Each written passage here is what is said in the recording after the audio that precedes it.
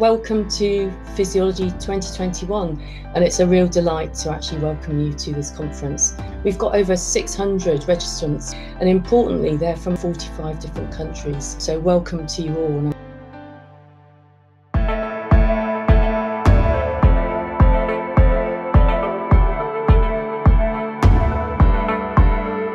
I found presenting really good at Physiology 2021 and the whole conference was fantastic.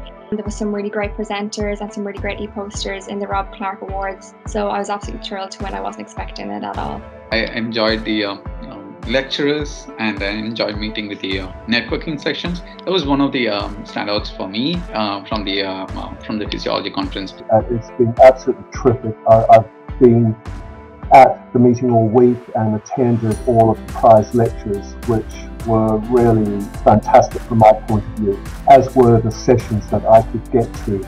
So, thank you to everybody for making this a really fantastic week of physiology. It's amazing that despite the pandemic, there's been some fabulous research going on. So, thank you all for doing that.